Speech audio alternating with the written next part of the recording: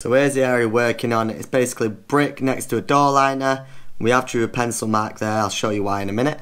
And this secret weapon we're using, this is foam. And uh, excuse the long shot.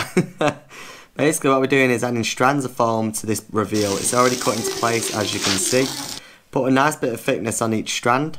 Here's the secret. Don't stick it when the foam is still wet. Put your finger on, you're getting a bit back, then leave it. You wait until the foam is completely dried. So you put your finger on, not completely, but you can touch it. It's still paddy, but you're not getting any stick into your finger.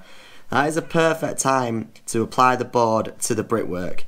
Now what that means is one, it won't expand and keep pushing out, but two, it's at its maximum sticky point. So what you do is literally apply it roughly where you want it, get your level and knock it where you need it. And then literally just tap it once or two times, make sure it's plumb and use that line on a door liner or window to follow to. That's a real good rule of thumb. It's just easier to work with.